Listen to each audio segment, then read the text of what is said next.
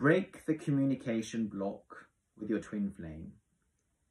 Are you currently blocked by your twin flame? It's very common. Break that and start speaking to them telepathically. Now, telepathically is not only from the heart space, which is where twins are always constantly communicating, and that's how your runner twin, for example, knows whether you're ready or not ready to engage. They can feel whether you're angry or still stuck in your ego.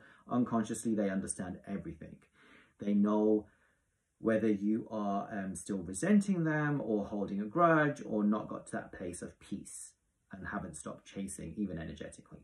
So anyway, you can focus on your heart space when you work with your inner child and communicate with your twin flame. Telepathically, also you can communicate in the dream world through signs, symbols, synchronicities, but also when you start seeing their 5D self, I call it like their ghost, that kind of like follows you around like a stalker as you go about your daily day.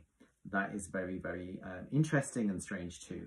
But you can talk to your twin flame in many, many ways. You're never actually blocked because in the 5D, you are one being and the illusion of the 3D world makes you think you're separated, where you're constantly in communication. So start by communicating words of love and peace and harmony and self-focus. They will feel that and then they will come running.